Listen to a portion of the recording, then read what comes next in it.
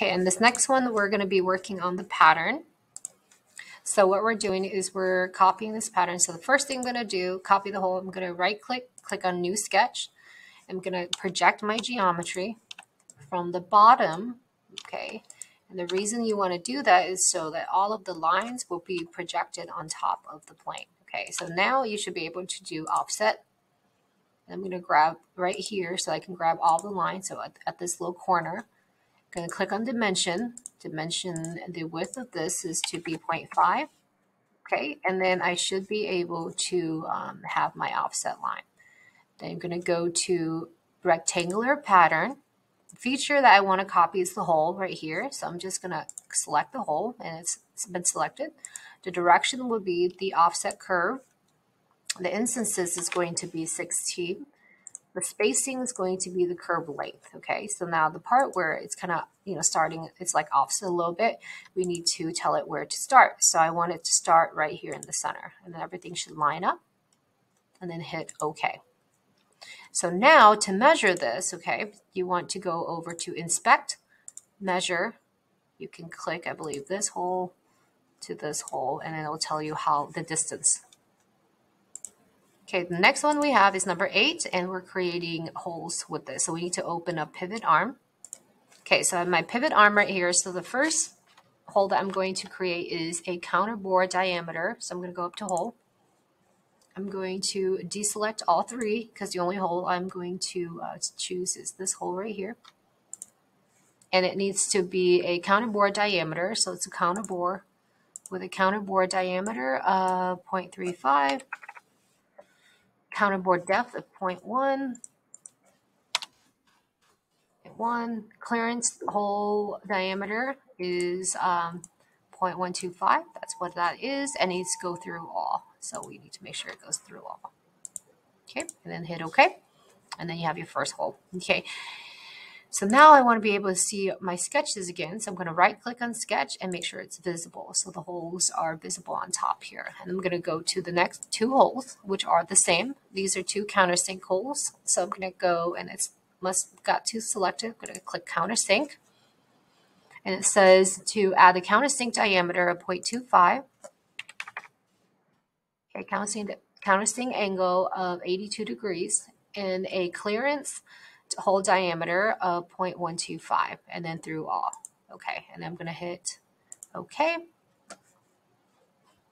Okay, what is the surface area of the part? So if you're asking for the surface area of the part, you want to right click on iProperties, physical, update, and then the, um, the surface area will be the area.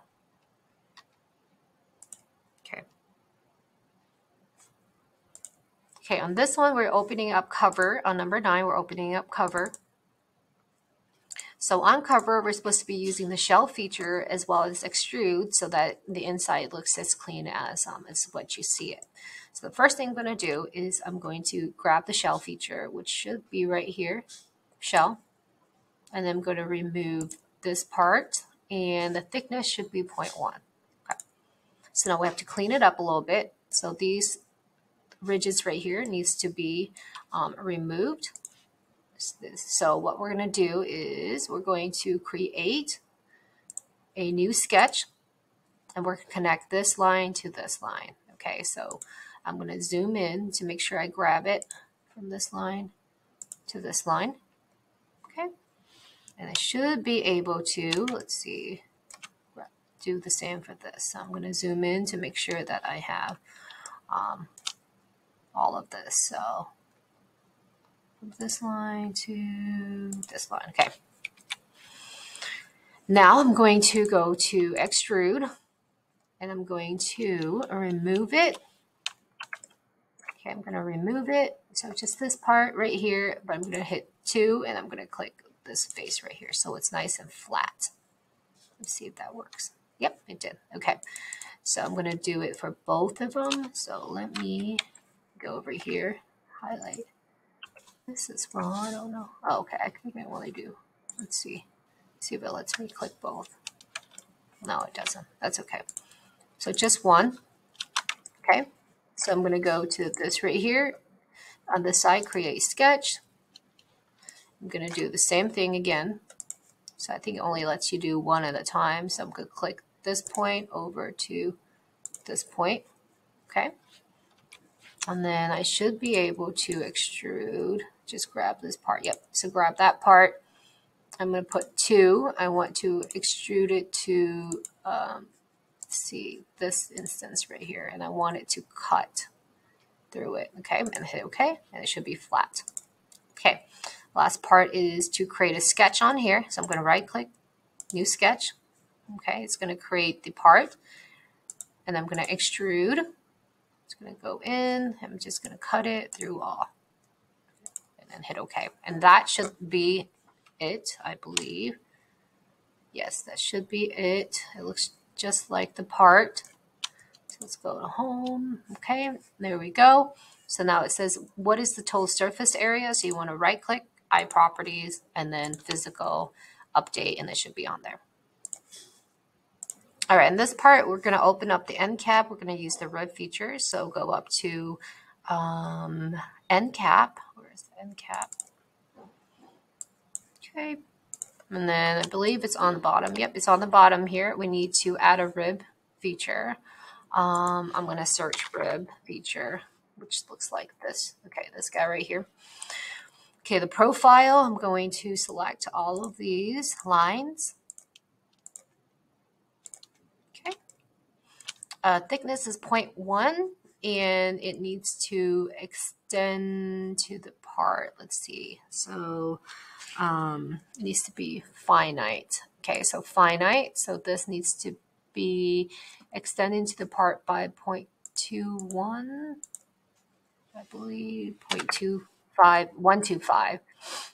And then um, draft of a degree. Where is that degree? Okay, so we'll click on draft, and then the angle that I wanted to draft is 15 degrees. And I'm going to hit OK.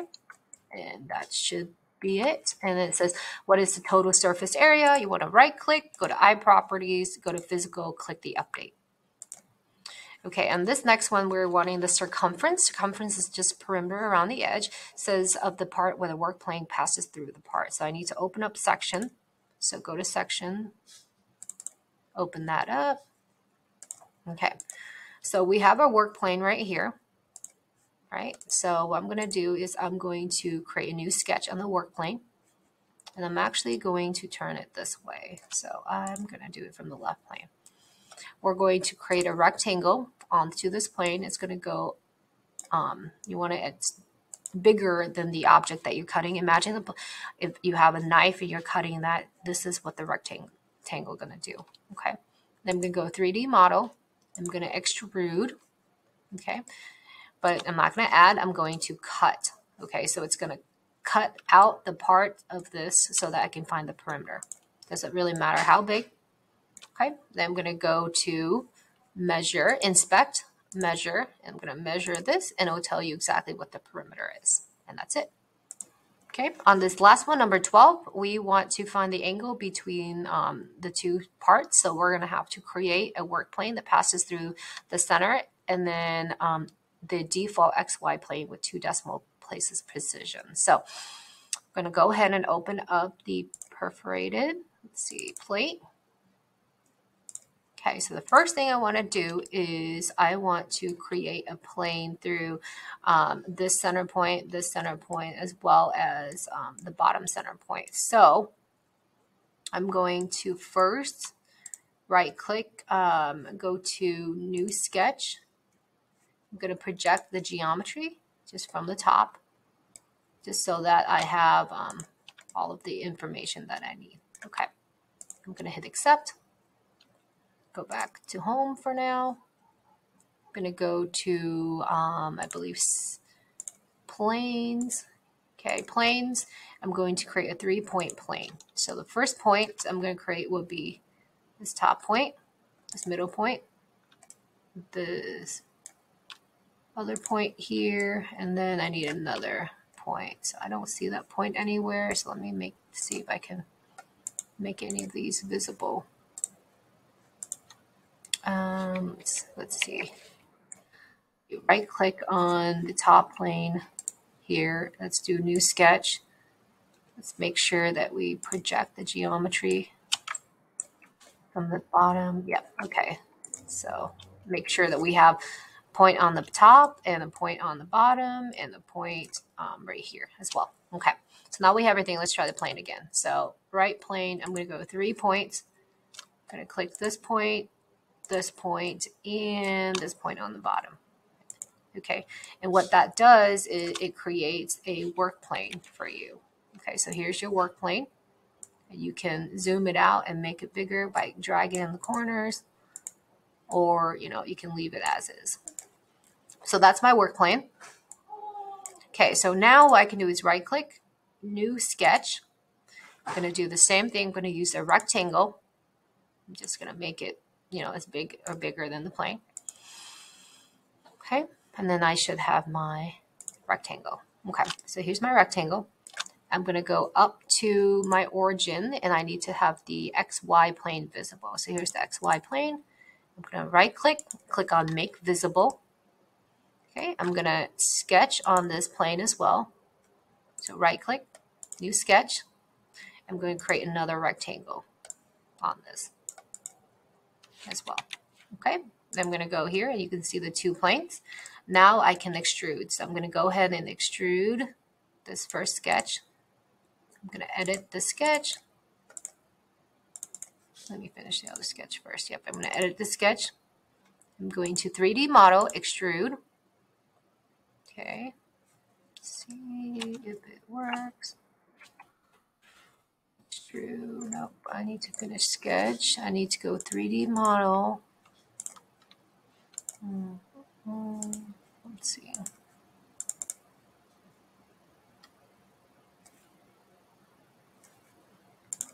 Okay, so I extruded that. I'm going to cut it. Um, I'm going to make it go all the way through.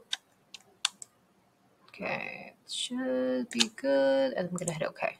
Okay. And then I'm going to go back and um, make this visible. I just made it invisible. Make my sketch visible. Okay, and I'm going to right click on this part, um, edit sketch. It should be able to extrude. Okay, so I finished my sketch and I'm going to extrude this part um, the opposite direction. So I want it to go this way. And then through all cut. Okay, and now I should have that slice. So I need to figure out the angle of this. So really simple. All you have to go is to sketch, right click, new sketch on here, go up to uh, dimension, and you can dimension, you click this line and this line, and it will show you what the angle is. And you are finished.